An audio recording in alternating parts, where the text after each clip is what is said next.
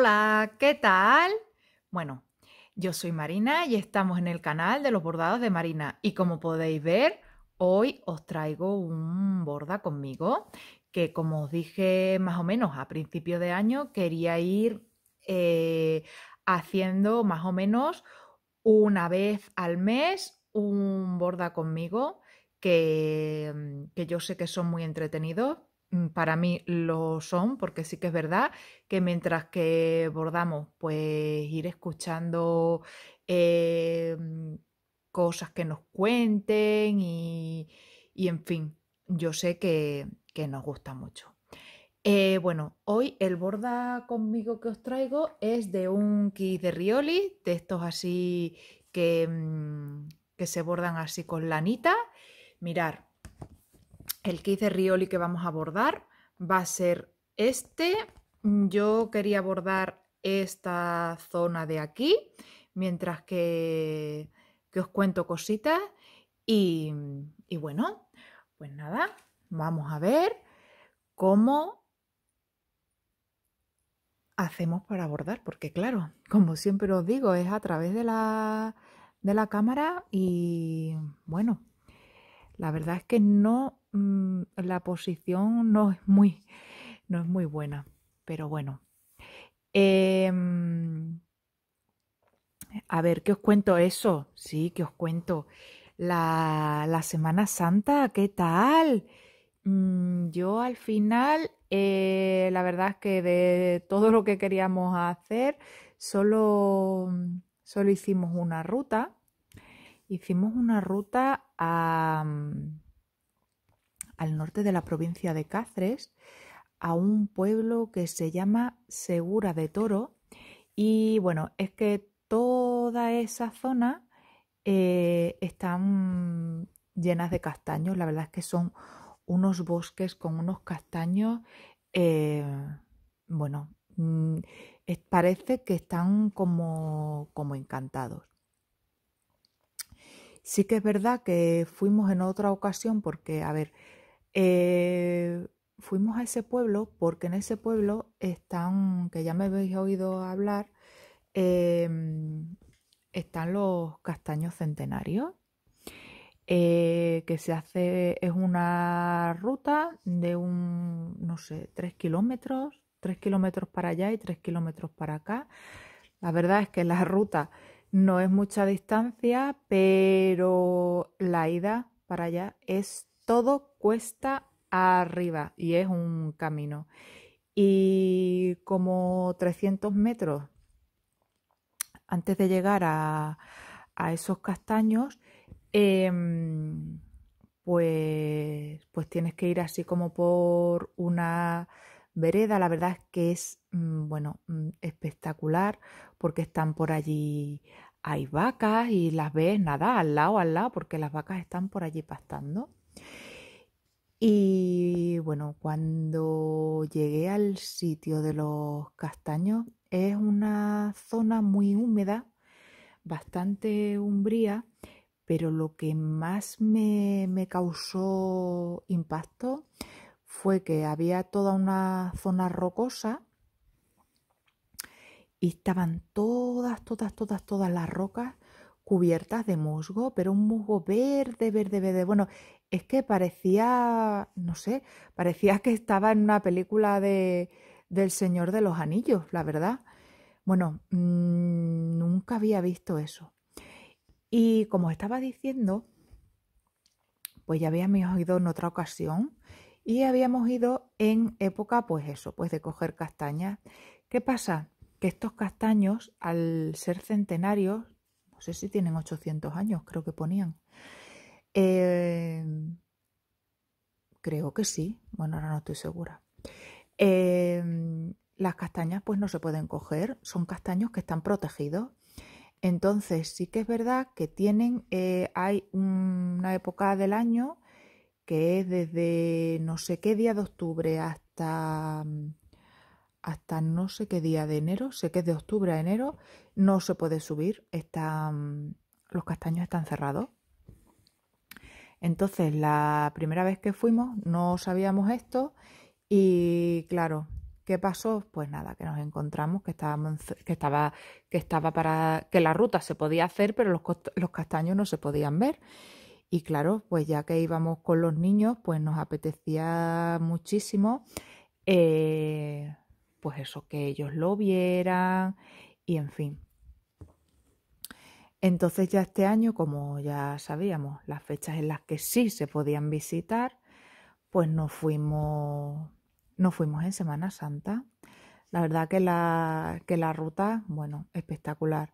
Nos fuimos con Sofi, evidentemente, y bueno, yo decía, madre mía, Sofi, porque no deja de ser pequeñita. Sofi tiene ahora mismo siete meses, pues eso, cuando lo hicimos, pues un mes menos.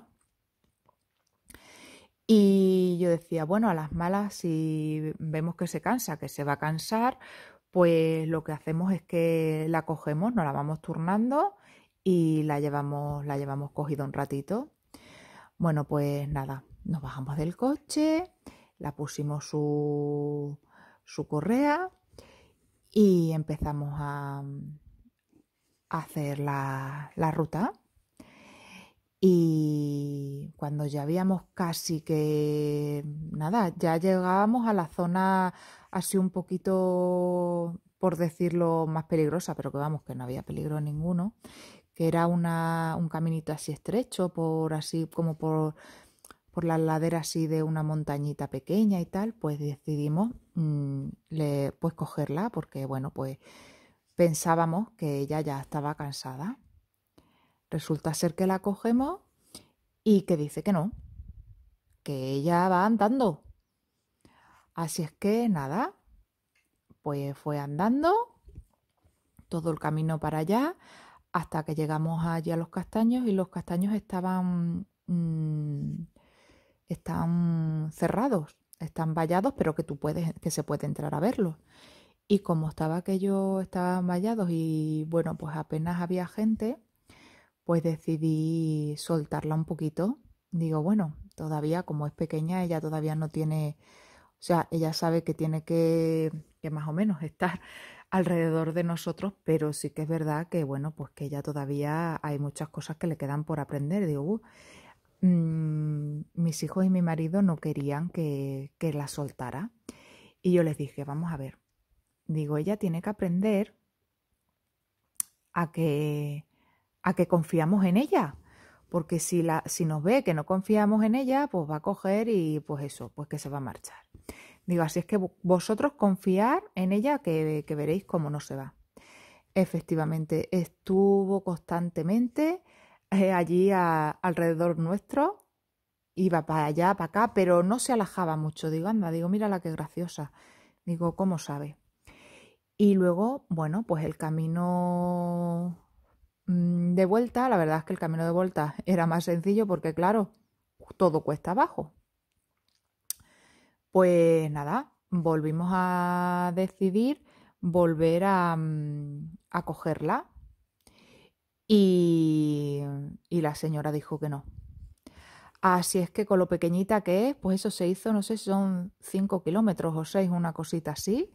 Ella solita, súper bien, además que es que se portó fenomenal. La verdad es que mmm, para ser un cachorrito mmm, es buenísima. No me ha mordido nada, no se come nada que no sea suyo. Mmm, bueno, a mí me tiene, la verdad es que me tiene sorprendida. Porque eh, normalmente los cachorros, pues, bueno, sí, la verdad es que mm, tiene una cosa que no lo puede evitar. Mis zapatillas. Bueno, mis zapatillas es una cosa eh, de espectáculo. Pero de espectáculo, ¿eh? Le saca todo. Eh, plantillas, cordones. Bueno, los cordones porque los tengo bien atados para que no los saque el cordón entero y se lo pueda comer. Pero todo, todo, bueno, mis zapatillas es cada vez que voy mm, a a ponérmelas, ya sé que ella ha estado jugando con ellas porque hay veces que no una de ellas la encuentro y, y la otra pues no, la tengo que andar buscando. Además, más de una ocasión, porque a ella le gusta mucho jugar con, con las pelotas de ping-pong. Claro, es que ella es tan pequeña que una pelota más grande no le podemos dar porque la pobre no la puede coger con la, con la boca. Y bueno, es súper graciosa, es que juega ella sola, se tira ella sola la, la pelota, no lo perdáis. Y en más de una ocasión me, me he ido a poner las zapatillas y me he encontrado las pelotas de ping-pong dentro de las zapatillas, no lo perdáis, que eso es lo mejor de todo. Y, mm, y bueno, pues luego después de eso, después de hacer la ruta, nos fuimos a Herbás, que está muy cerca de este pueblo que os digo, de Segura de Toro. La verdad es que, mm, es que aquella zona nos gusta muchísimo y eh, en Herbás hay un merendero que está mm, entre castaños. Y nada, fuimos, llevamos la comida y fuimos a, mm, allí a comer allí. Y madre mía, había bastante, bastante, bastante gente allí comiendo. Las las mesas que son así de piedra están súper separadas, así que fenomenal. Manteníamos la distancia. Y luego nada, mm, nos fuimos a dar un paseo por Herbás, que íbamos a sentarnos, la verdad, que en una le íbamos a comprar a los niños un helado de estos artesanos, que hay un sitio de helados artesanos súper bueno. Y íbamos a comprarle un helado artesano a cada niño y nosotros a sentarnos a tomar un café. Pero de verdad había tanta gente en Herbás que decidimos comprarnos un helado cada uno y nos fuimos así a, un, a una callejuela de, del pueblo a comérnoslo y nada, nos vinimos para casa porque, porque había muchísima gente, Vos, muchísima.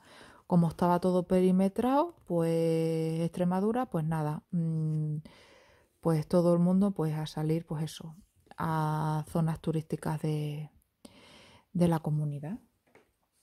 Y a ver el gráfico, porque yo estoy aquí, borda que te borda, y no me quiero confundir. Vale, creo que voy bien.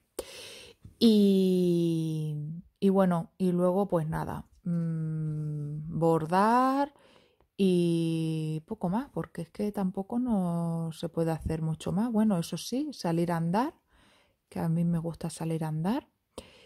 Y, ya está, si es que tampoco tengo mucho que contaros, porque Semana Santa nosotros normalmente, eh, bueno, pues aquí en Cáceres se hace eh, las procesiones eh, de interés cultural y mm, como a mi hijo el pequeño le gustan tanto, tanto, pues la verdad es que es que no, en Semana Santa normalmente no nos movemos. Pero como este año no teníamos nada, pues, pues nada, pues eso. Hemos hecho eso y ya está. No hemos hecho nada más. Pero así todo, no os podéis hacer una idea lo rápido que se me han pasado las vacaciones estas. Se me han pasado súper rápido.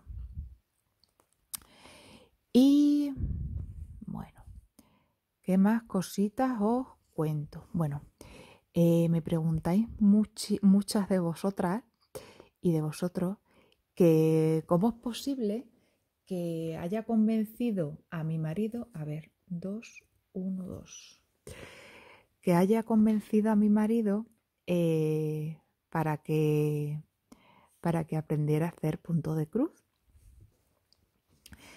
Y os voy a contar, no sé si ya lo he contado esto en un borda conmigo, pero os lo vuelvo a contar. Eh, a ver, yo mm, la verdad es que no, yo no lo he convencido nunca. Pero, eh, a ver, a mí él siempre, desde que me conoció y más cuando ya nos fuimos a vivir juntos, pues siempre me ha visto, siempre me ha visto bordar y mm, siempre, siempre con la aguja en la mano. Mirar, eh, nosotros nos fuimos a vivir al País Vasco y en la casa que teníamos, bueno, pues había que comprar muebles y hacer, bueno, pues cortinas, en fin. ¿Quién hizo las cortinas? Bueno, pues las cortinas las hice yo y yo iba haciendo así un montón de cosas para que se necesitaran para la casa. Y es que él siempre me ha visto, pues eso, con la aguja en la mano, cortina, bueno, incluso para mí, pues alguna falda, algún vestido y, y tal, siempre.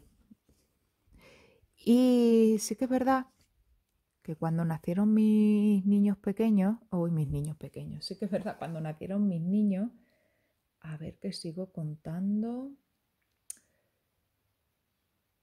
Tres. Cuando, bueno, pues eso, cuando nacieron mis niños, pues esto de, la costura y el bordado quedó ahí unos años un poquito, eh, pues eso, ahí guardadito en un, en un cajón. Y cuando ellos empezaron, sobre todo el pequeño, cuando empezó a ser más independiente, pues claro, ya sabéis que este hobby eh, no, puede, no se puede dejar de hacer. Es que, a ver, forma parte de mi vida, lo he dicho ya en varias ocasiones. Para mí el punto de cruz es mi, mi, mi, pues eso, que forma parte de mi vida. Bueno, entonces cuando lo volví a retomar, que fue cuando yo... Mm, bueno, yo ya compraba en AliExpress y me dio un día por, pues eso, por ver si había aquí de AliExpress y tal, y los descubrí y ahí fue cuando, bueno, pues eso, cuando empecé mm, a comprarlos. Y, em, a ver, me he confundido. A ver, un momentito. Ay, sí. Me he confundido aquí. Bueno, pues ahora, en lugar de borda conmigo, mm, deshacéis conmigo. Bueno, el caso es que, mm, eh, bueno, pues eso, lo que os estaba contando, pues volví a, volví a retomarlo. Mi marido, bueno, pues se entretenía muchísimo, pues con el ordenador para arriba, para abajo, miraba, lo miraba todo, lo consultaba todo en el ordenador algún jueguecito también había en el ordenador, bueno, él es muy aficionado también al fútbol, en fin, que se entretenía mucho y yo, claro, pues yo saqué mi otro, mi otro hobby que, pues eso, mi costura, mis bordados. Y em, mm, pues nada, me veía bordar y tal, y ya empezó, le vi yo que, a ver, yo quería, los niños me preguntaban y entonces, bueno, pues un día mm, les senté y para que, para que aprendieran. Lo que pasa es que, bueno, si estuvieron en una época que sí, pero cuanto más mayores van siendo, bueno, la verdad es que como yo digo, las nuevas tecnologías y las pantallas les tienen absorbidos el cerebro. Pero a ver, es lo que hay.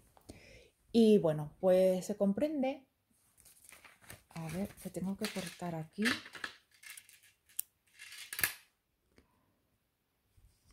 Pues ya he deshecho lo que, la parte que me he confundido. Y bueno, pues eso, como os iba, como os iba contando. Que, mm, que nada, que se comprende que él ya eh, estaba un poco saturado de, pues eso, de ordenador. Y entonces ya él, eh, le, como yo digo, le picó la curiosidad y, y yo veía que él me preguntaba mucho. Y estos colores, y a ver eso, a ver, a ver cómo se hace. De hecho, eh, bueno, él cuando me hace mucha gracia, bueno, ya sé que me voy de un tema a otro, pero bueno, eh, para que veáis hasta qué punto forma parte de mi vida el bordado. Él si me ve en el sillón sentada y no me ve con, pues eso, con mi punto de cruz en las manos, me dice, Marina, ¿estás bien? ¿Te pasa algo? ¿Estás mala? Digo, no, digo, ¿por qué? Dice, no, porque como no te veo coser, para que veáis, yo siempre, siempre tengo que... No puedo tener las manos quietas, vamos, en resumen. Y ahora ya lo que digamos, la historia de, de mi marido, de cómo empezó.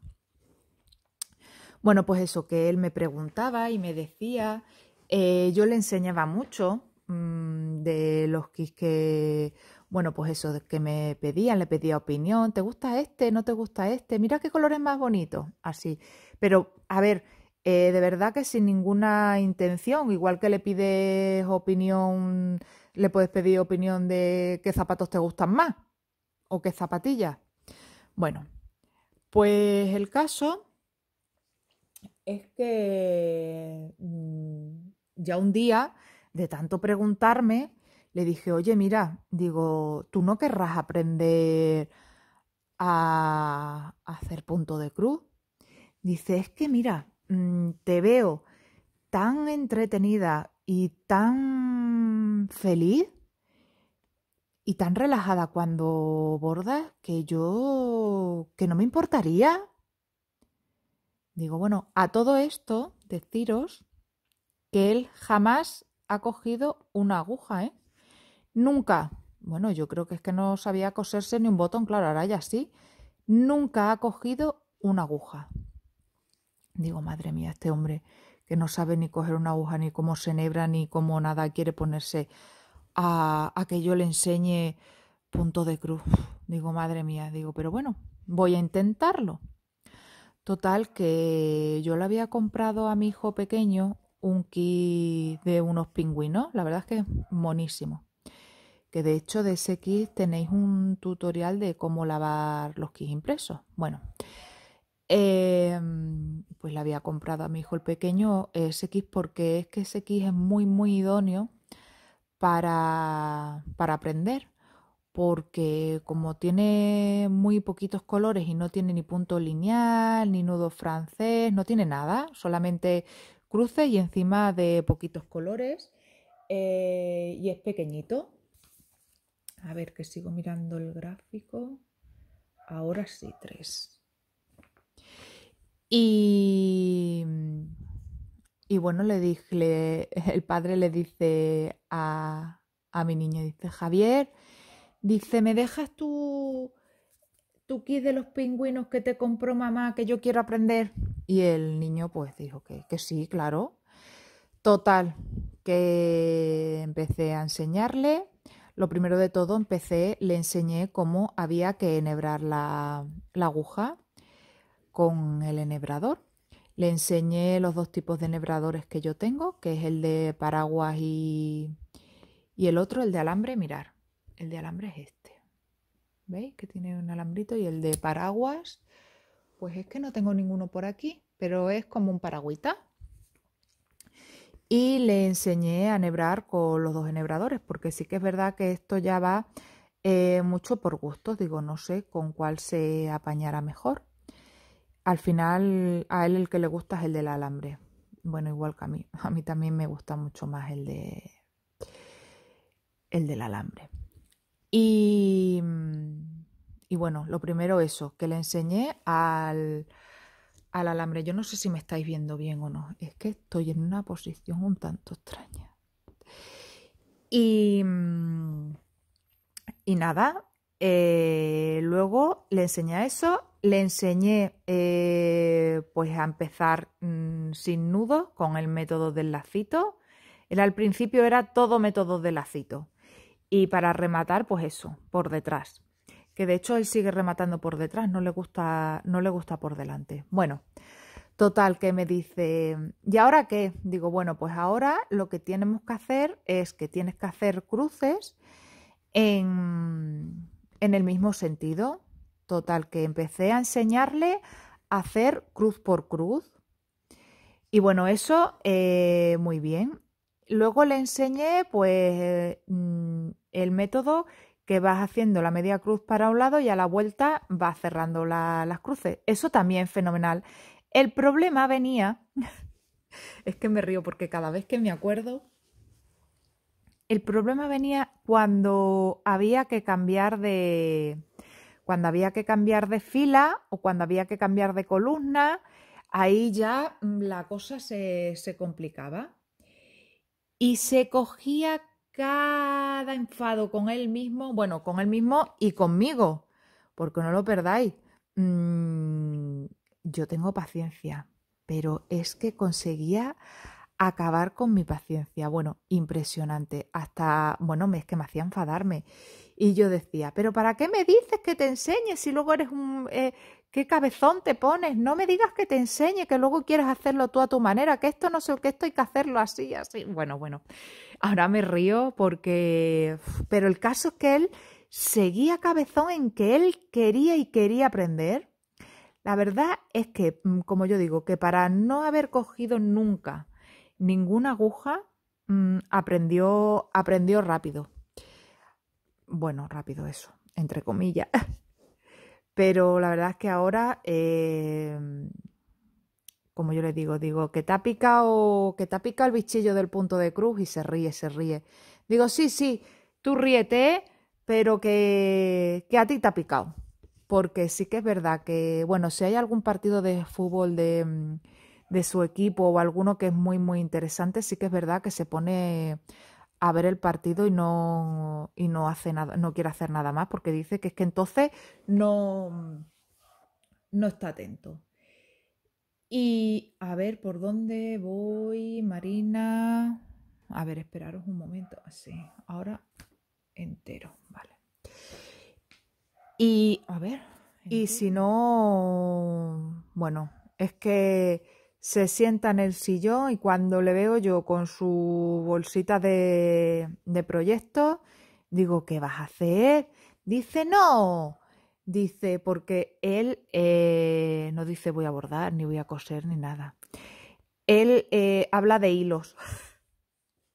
o sea, que dice, no, que voy a hacer un par de hilos, como si los fabricara él los hilos, no lo perdáis. Lo que quiere decir es que va a bordar, pues eso, con un par de hebras, que luego no es un par de hebras, que luego son muchas hebras, porque se pone y... Bueno, a ver, que a mí me pasa lo mismo. Y es un vicio. No sabe cuándo, cuándo dejarlo.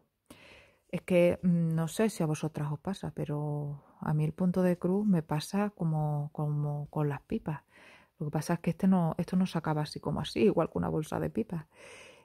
A mí me pasa que nos pasa a vosotras que tenéis que, bueno, pues que ya es la hora más o menos de, de dejarlo y, y nos pasa de que decir, ya voy, espera, la, me quedan tres cruces, ya voy, o Sí, ahora mismo ya recojo, ¿eh? Ya recojo. Esperaros que solo me queda este hilito, este cachito de hebra para poder para poder acabar, ¿eh? Y ya y ya voy y ya recojo. O que bueno, pues que ya es tarde y que nos tenemos que ir a la cama y empieza, madre mía, es que eso me pasa muchísimo. La verdad es que, que esto es un peligro. Y empiezo eh, venga ya, mm, el último, la última hebra eh, y me voy a acostar. Y se acaba esa hebra y cojo otra. No, no, pues ya sí que ya, la última hebra y ya, eh, ya sí que ya me, me, voy a acostar. Y así me, me puedo tirar, pero, pero un buen rato. Porque es que, de verdad, no sé si a vosotras os pasa, pero a mí, bordando, se me van las horas que es que, mm, que no me entero, ¿eh? Que no me entero. Se me hace que hay veces que, bueno, pues eso, que te sientas una horita, estás una horita bordando. Yo cuando más bordo, sí que, verdad, sí que es verdad que son los fines de semana. Y que normalmente, bueno, pues el sábado, si no voy a ningún sitio el sábado por la tarde, el domingo por la tarde, prácticamente toda la tarde, toda la tarde bordando, que hay veces que cojo hasta un par de proyectos o, o así. Bueno, pues eso, que cuando más bordo es, es por la tarde. Y, y bueno, ¿Qué más os cuento? Bueno, os cuento que, a ver, que, mm, creo que voy a cometer una, una, una locura. Ya sabéis que yo llevo en marcha eh, dos Geben. La verdad es que están muy, muy avanzados. ¿eh? De uno le queda, no sé si es un 27% del Geben de los gatitos, de las pompitas. y del, del de los búhos le queda un 40%, o sea que están, son Heaven que están bastante, bastante, pues eso, adelantados. Pero hablando el otro día con una amiga mía, hace tiempo, eh, bueno, es con una amiga de estas de las con las que estamos haciendo el sal de el kit del Verona y el, y el sal de las casitas de Little House. Bueno, pues a esta amiga mía le dio por, por empezar a sacar eh, fotografías, bueno, empezar a sacar, coger fotografías de, del grupo de, mm, de de gente que estaba haciendo. Estos cuadros que son de esta diseñadora, que son unas muñecas así con ojos grandes, que hay veces que, bueno, pues que las muñecas tienen así como una mirada entre triste, dulce, no sé. La verdad es que es que no sé por qué, pero me llaman la atención esas muñecas, mm, bueno, una barbaridad. Y bueno, pues así tal, mm, viendo las fotos y tal, pues ella decía que, que le llamaba mucho la atención, yo decía que también y tal y pascual, y sí que es verdad, bueno, pues que coincidimos en algunas. Pero eh, también es verdad que no todas eh, quedan bordadas como deberían, porque yo mm, le veo un pequeño defecto a, a Heaven eh, respecto a, mm, a, la piel, a la piel de, de, bueno, pues de las personas, de las muñecas, etcétera. Que les queda, no, no está bien, no tienen bien, bien definido el programa que utilizan, no sé, pero queda la piel, no sé si os habéis dado cuenta, como muy parcheada. La verdad que ese proyecto de las muñecas son muy bonitas porque son preciosas, pero la piel, eso, eh, queda ahí como, pues eso, muy, con mucho parche, no queda muy bien. Pero había una que nos gustó muchísimo a las dos. Y es una que lleva un antifaz puesto. La verdad es que es pequeñita, porque claro, eh, ella también lleva en marcha dos, dos Heaven y, aventurarse a, más. Mm, un Heaven, en, uno de ellos es mediano y el otro es de los grandes. Y ella decía que, claro, que aventurarse a. Mm, bueno, mirad, aquí sacaba la hebra. Bueno, lo voy a poner. Y lo que os iba contando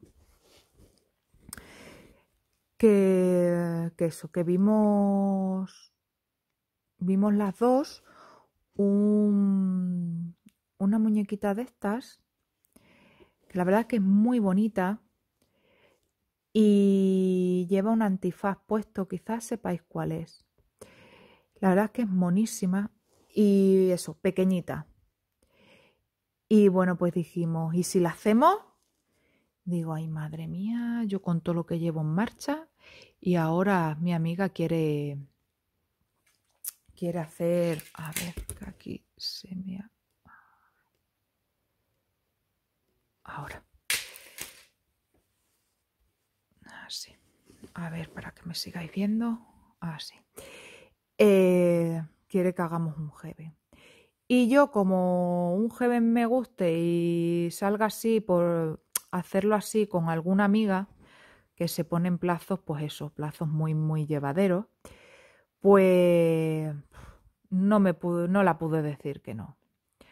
Así es que bueno, ya estamos mirando hilos, telas, que yo todavía no sé si la voy a hacer, si la... A ver, yo lo, lo que sí sé que lo voy a hacer en una ida... No, que lo voy a hacer con hilo CXC y lo que no sé es si hacerla en una ida 18 a una hebra, porque ya sabéis que los hilos CXC son más gorditos y en una ida 18 a una hebra mm, va a quedar bien.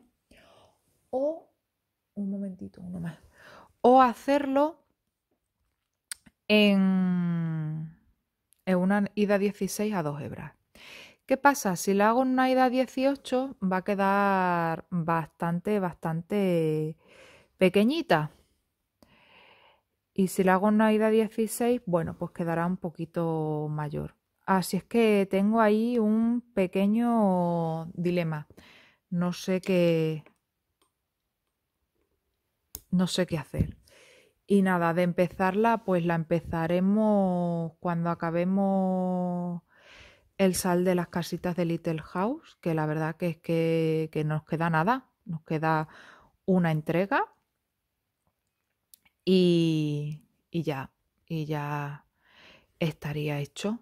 Nada, ese no le queda, como yo le digo, le queda menos que un bizcocho a la puerta de un colegio. Bueno, y bueno, pues nada más, así que contaros. Ah, sí, os tenía que contar una cosa. Bueno, os tenía que decir aquí me un, uno menos, así. Em, a ver, eh, como ya sabéis, yo soy consumidora de YouTube. Si es que es verdad que en YouTube podemos encontrar de todo, de todo, de todo. Bueno, pues viendo vídeos y tal, me salió de recomendación. Em, eh, es que no sé si lo voy a decir exactamente cómo es. La vida de los manomitas o menomitas, una cosa así. Y yo digo, ay Dios mío, ¿y esto qué será? Bueno, pues la verdad es que es que mm, me llamaba muchísimo la atención, así es que, eh, bueno, pues que me he visto varios, porque son como documentales, que me he visto varios documentales de, de los menomitas o manomitas, bueno, una cosa así. Resulta ser que los menomitas o los, bueno, eh, ellos son una comunidad parecida, parecida a los Amis, pero no son Amis.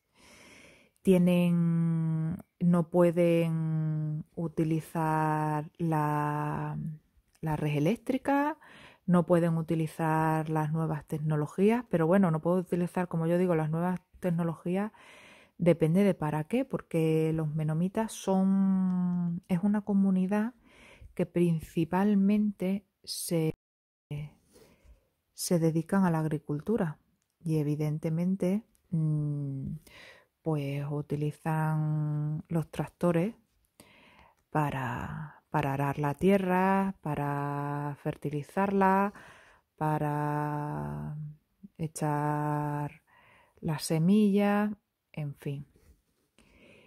Y eh, bueno, igual que los samis también eh, tienen su, propia forma de vestir, que se lo hacen ellos. Eh, ellos no me llamó mucho la atención porque vi un documental, también, ya os he dicho que he visto varios. Bueno, pues vi un documental de ellos que bueno pues que ellos se cosían sus propias ropas tenían una tenían tiendas y, y, en, esas tiendas bueno pues recibían eh, telas para para hacerse esa ropa. Pero son telas eh, que solamente se podían hacer eh, ropas con esas telas bueno, pues para las chicas más jóvenes y niñas y, y bueno, no que no estaban casadas, utilizaban telas de flores, pero eran unas flores pequeñitas, un poquito, un poquito más coloridos que para las mujeres que estaban casadas, que eran telas más, más sobrias. Y luego eh, los hombres utilizaban pantalón oscuro y camisa azul, azul marino. Creo recordar, bueno, pues que en ese documental en el que hablaban de, la ropa, em, decían que no utilizaban eh, cremalleras, que solamente eran corchetes o botones. Y, bueno, los niños, bueno, em, ellos, eh, todos los hijos, todos los hijos que, pudieran tener, que cuanto más hijos se tuvieran, pues, pues mejor, eh, tienen su propia escuela Y bueno, en esa escuela solo enseñan lo básico, leer, escribir y, mm, y algo de matemáticas.